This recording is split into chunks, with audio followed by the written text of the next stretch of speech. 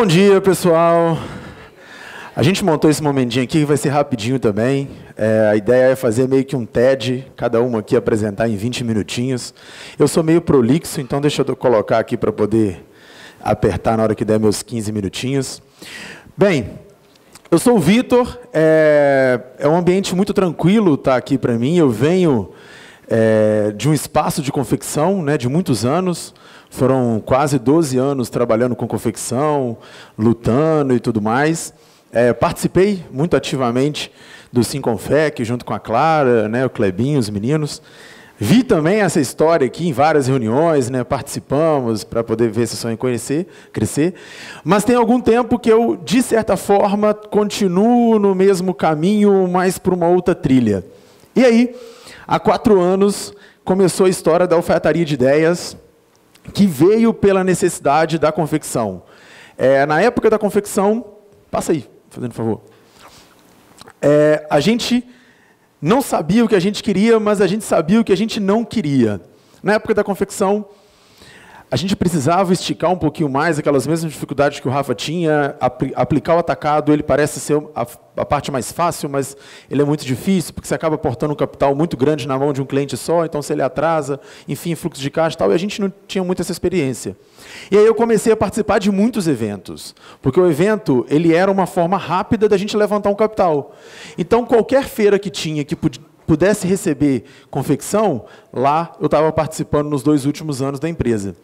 E aí nisso eu comecei a rodar o Brasil todo. Fui para Salvador, fui para o Rio, fui até para São Paulo, fui para BH, enfim.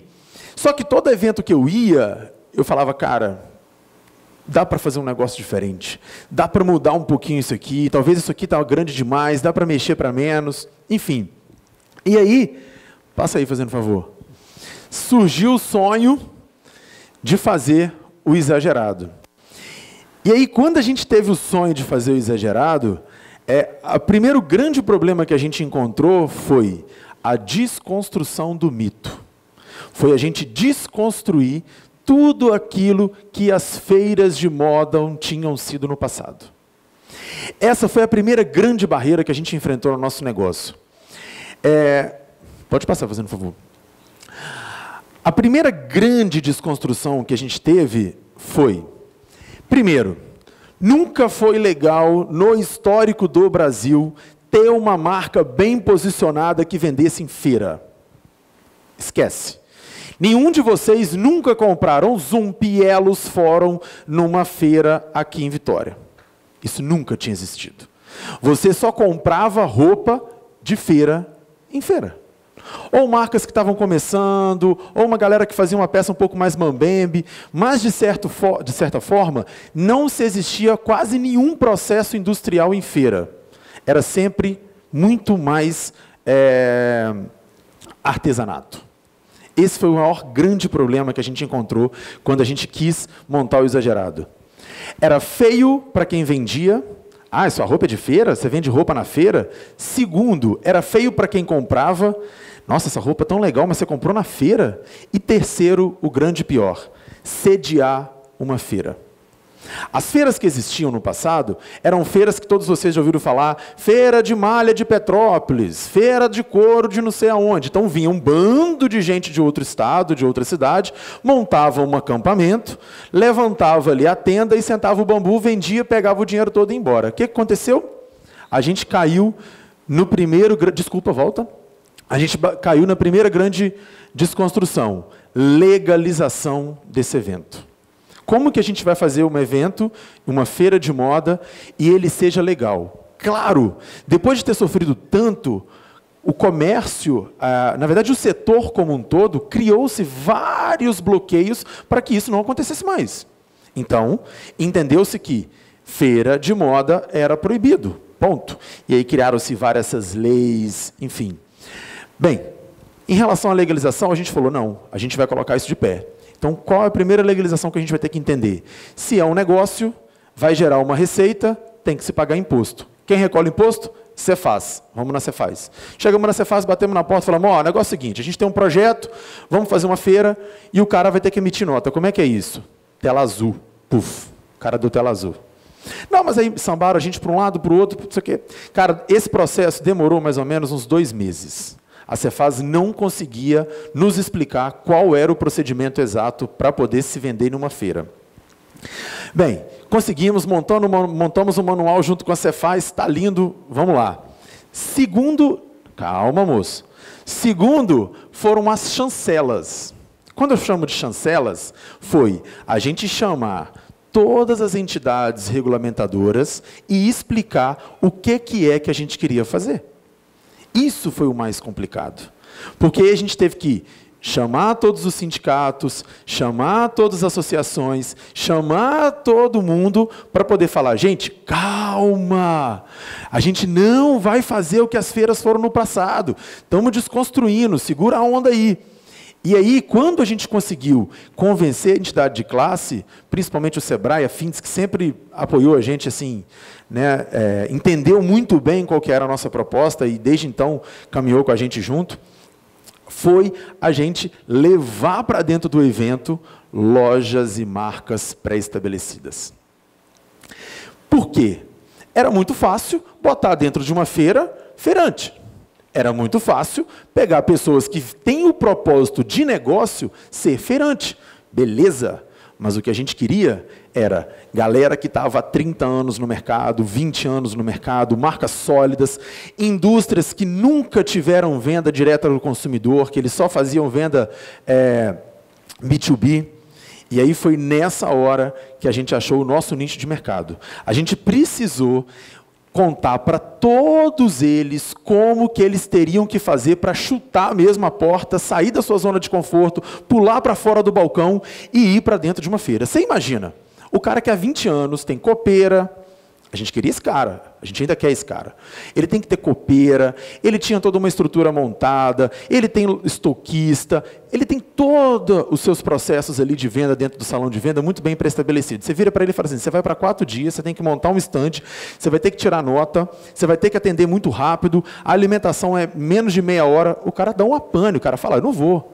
Sem contar que a gente está chamando ele para ir para uma feira, onde o histórico de vida dele era, cara, eu quero ser contra qualquer tipo de feira de moda que existir. Ele brigou contra, ele fez lei contra, e mais do que isso, ele falou mal de feira. Cara, como que a gente fez isso? Passa aí. A gente primeiro criou-se situações para proteger esse setor. A primeira grande proteção que a gente tem é o exagerado, ele sempre foi e sempre será 100% capixaba. Hoje, todas as empresas que estão dentro lá com a gente, elas têm um CNPJ capixaba. Há uma transversalidade, tanto comércio quanto indústria. A gente hoje tem, claro, quase todas as marcas nacionais. É, quando eles nos procuram, é, ano passado a gente teve duas reuniões que eles queriam entrar, queriam muito participar do evento. A gente falou, cara, não. A forma de você entrar vai ser você ligar para o seu franqueado. O franqueado vai trazer uma interface, quem vai operar dentro do exagerado vai ser o seu franqueado, o CNPJ. Se você quiser trabalhar com ele com mercadoria consignada, como vai ser? Problema de vocês. Mas a operação dentro do evento tem que ser um CNPJ capixaba. Bem, quando a gente fez isso, a gente simplesmente disse ao mercado: entende? É para vocês. Então, nunca a gente vai ter aqui dentro, essa é a nossa maior cultura, empresas de outro estado. Ponto. Segundo, a gente teve que fazer uma outra coisa, entender que a gente estava criando uma plataforma de consumo. Quando você cria uma plataforma, ela precisa agregar e não diminuir. Né? Ninguém fecha uma loja para abrir um e-commerce, ou vice-versa, os dois têm que andar junto. Então, se era uma plataforma, ela tinha que ajudar muito mais que atrapalhar. Então, o exagerado ele nunca pode acontecer em datas comemorativas. Ele sempre vai correr do Dia das Mães, ele sempre vai correr do Dia dos Pais, ele sempre vai correr de datas onde as pessoas já vendem muito bem. A gente agora está até mudando um pouco. O exagerado ele acontecia no início do mês. Não, no início do mês todo mundo já vende. Vamos para o final, que é a hora que ninguém vende. É ali que a gente precisa resolver esse problema. Então, daí a gente começou a criar algumas políticas para poder realmente virar uma nova plataforma de consumo. Bem, quando a gente falou isso, a nossa maior preocupação foi, putz, levamos o cara lá para dentro, o cara vendeu bem, saiu de lá motivado e agora o cara quer virar feirante. Meu Deus, volta tudo. Está errado. Aí a gente teve que voltar o processo todo, chamamos o Sebrae para perto, e aí hoje o Sebrae montou um projeto junto conosco que é o seguinte: para você participar do, do exagerado com o apoio do Sebrae, você precisa criar todo um projeto de oito meses que, o final, você vai para dentro do evento. Em paralelo a isso, a gente pediu uma exclusividade. Porque a gente precisa que as pessoas elas tenham um propósito de negócio. Eu costumo dizer que o exagerado ele não vai quebrar ninguém ou nenhum setor e não vai salvar nenhum setor. Né? Ele pode ser ali um grande impulsionador. Passa aí. Bem, quando a gente criou uma nova plataforma de consumo, a gente precisou se apegar a uma palavra muito diferente de todos os eventos que a gente já tinha participado. E daí a gente criou uma parada que chama experiência. Bem, o que é experiência? Tá chato, tá horrível, ninguém aguenta mais falar de crise, sabe? Tá um bode isso, cada hora é uma história nova, mas a gente não pode é, acreditar que ela não existe. Bem, o varejo sofre muito mais com ela, por quê? Porque existe uma nuvem. Que nuvem é essa? Antigamente a gente chegava, queria comprar alguma coisinha nova, a gente ia no shopping, em qualquer outro lugar, fazia uma compra e ficava feliz com aquela compra. E aí eu comprava uma outra coisinha e ficava mais feliz ainda.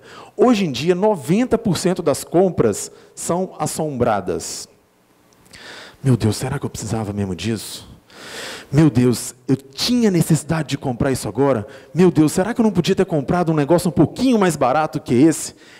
É unânime. Infelizmente, a gente está com essa nuvem. Bem, por que criar uma experiência de consumo? relaxar essa pessoa. Fazer com que a pessoa se sinta totalmente abraçada, totalmente envolvida, que no final ela comprou. Então a gente precisou, claro, a gente tem um grande pilar que é o preço, isso é fato, mas paralelo a ele, a gente criou essa experiência. Bem, o que, que impulsionou tanto o e-commerce no mundo, principalmente no Brasil? As pessoas compravam, claro, posicionado pelo preço, mas pela simples experiência de comprar alguma coisa e chegar em casa. Quem não lembra quando a gente começou o e-commerce no país, que as pessoas compravam e falavam, menino, eu comprei uma bicicleta pela internet e chegou, você acredita? Claro que ia chegar, você comprou. Hoje é mais rotineiro, mas o grande impulsionador do e-commerce foi a experiência. Bem, e aí a gente teve que montar cenografia, Hoje em dia, 100% do exagerado ele é cenográfico. A gente tem uma estrutura dentro da alfaiataria hoje preparada para a cenografia, não existia no Estado. A gente tem marceneiro, tem arquiteto, e agora estamos contando até com engenheiro para poder montar nossas peças. Quem já foi lá sabe que a gente faz pórticos malucos. Na última edição, nas últimas edições, a gente colocou parque de diversões, enfim. A gente teve que criar um astral maneiro se a gente está falando de, de um evento de consumo e a gente quer trocar aquela nuvem, a gente precisou pensar em todos os pontos, desde as cores, música, tudo para poder reverberar esse astral maneiro. Cheiroso, então, quem vai no evento sabe que são duas plataformas. A gente tem a plataforma de comida e tem a plataforma de salão de venda, e cada uma tem um cheiro muito bem determinado. A gente conseguiu agora resolver um outro problema que também era os banheiros. A gente precisava entregar um banheiro que abraçasse e comunicasse junto com o evento. E aí vocês se preparem para a próxima edição para o nosso banheiro. Um evento saboroso, claro, muito colorido. Passa aí. E aí, a gente montou o grande baile do varejo. As pessoas às vezes elas se confundem, né? Quando até me perguntam, ah, o que é o exagerado? Ele, para uns ele pode ser um outlet, para outros eles pode ser uma feira de moda, para outros como criança pode ser um grande parque de diversões, enfim. Na verdade, a gente fez uma grande festa de consumo. E aí, quando a gente desconstruiu e criou essa nova experiência, a gente conseguiu aportar um monte de coisa maneira nele. Passa aí. Essa nossa praça de alimentação foi a primeira vez no estado que a gente fez um parque indoor, quer dizer, a gente colocou um parque de diversão no lugar fechado, dentro do pavilhão. Então lá tem montanha-russa, carrinho de bate-bate, né, tudo acontece ali dentro. Todas as nossas peças são cenografadas, então a gente cria tudo do zero, a gente não pega nada é, de aluguel de festa, de casamento, nada disso. Tudo isso é feito pela nossa equipe de cenografia interna. Na última edição, a gente começou a gerar conteúdo para dentro do evento. E aí a gente quis é, passar um pouco mais da nossa história, a gente procurou quem é que era a pessoa mais exagerada e comunicasse com o nosso, com o nosso evento. Foi fácil, achamos a Jojo Todinho, levamos para ela. E aí eu comecei a fazer uma brincadeira que o nosso último dia é o dia de Xepa, e por que não né? É, se isso é uma grande festa, a gente não começar a se fantasiar e fazer todo mundo rir, porque né, se a figura ali que tinha que estar o mais sério, o mais careta, né, o mais responsável da história ali, segurando né, o negócio na mão, não pudesse também brincar. Então aí eu comecei a me fantasiar, e o último dia, que é o nosso dia de Xepa, que é uma última festa, que é a hora que geralmente acabam todas as mercadorias, aí eu faço sempre ela agora de, de Xepa. A última edição me botaram de Paquita, foi um desafio, e foi muito legal. Bem,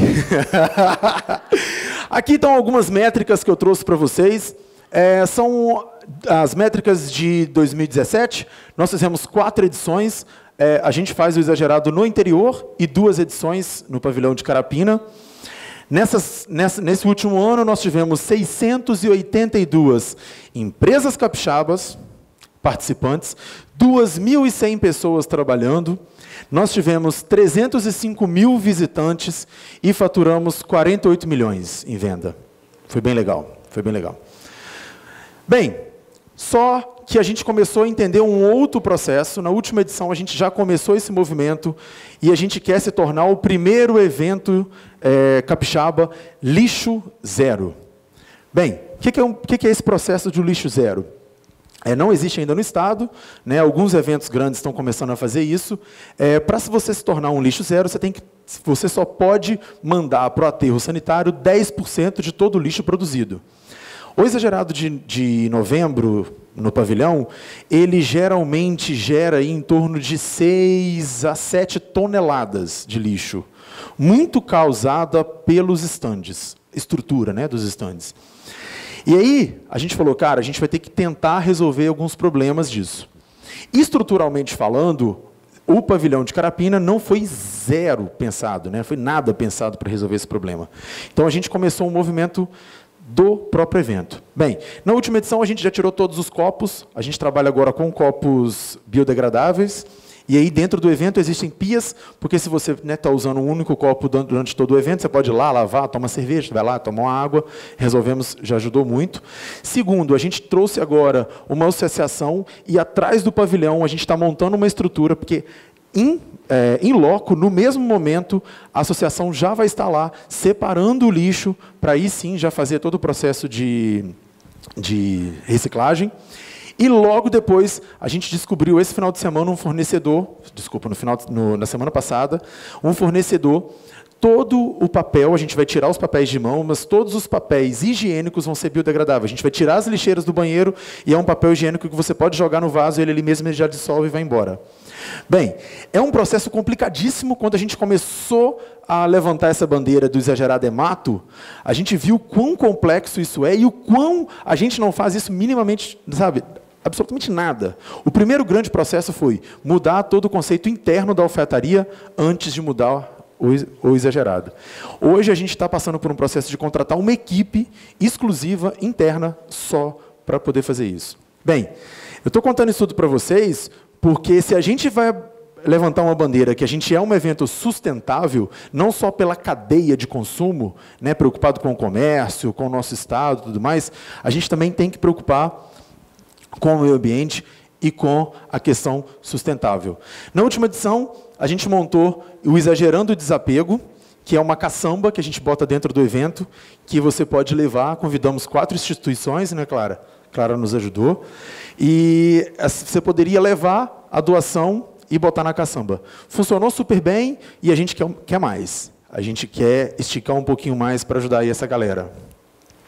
Bem, na última edição, a gente identificou um problema absurdo no Estado. É, não existe profissionais de fato ou instituições como essas para produtores de evento.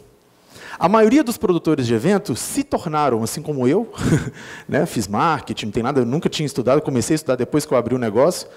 E aí a gente começou a encontrar muita dificuldade de grandes produtores e pessoas que trabalham, trabalham com evento. E aí a gente montou o Exagerado Experience. O que é o Exagerado Experience? A gente convidou o Banco Santander, um grande parceiro, e aí, junto com o Banco Santander, a gente montou um curso que ele vai ser aplicado dentro do evento funcionando. Então, ele vai, ele, a gente vai ter 22 momentos que a gente está convidando alunos e pessoas que querem participar e conhecer o processo do exagerado, e a gente vai abrir todos os nossos processos e vai aplicar um curso para eles. No final, a gente pensa em, claro, reter aí alguns talentos ou não, mas o, o mais importante é quebrar outro mito capixaba. Isso é meu, ninguém pega. A gente não.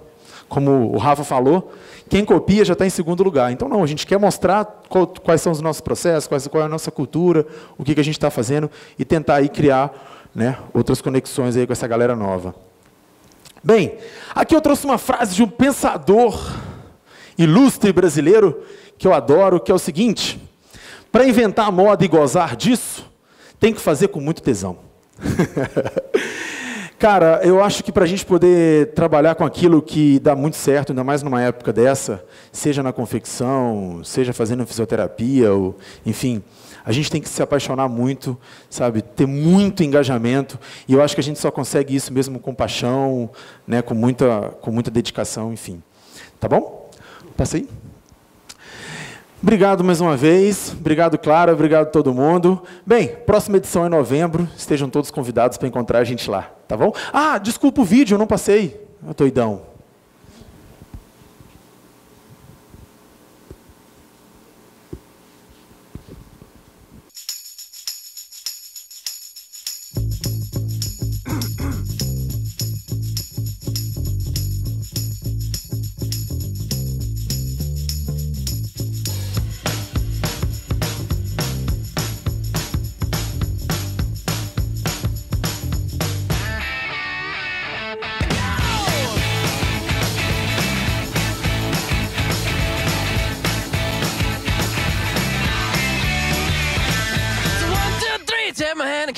Because you look so fine that I really want to make you mine. I really want to make you mine. Four, five, six, come on and get your kicks. Now you don't need the money when you look like that, do you, honey?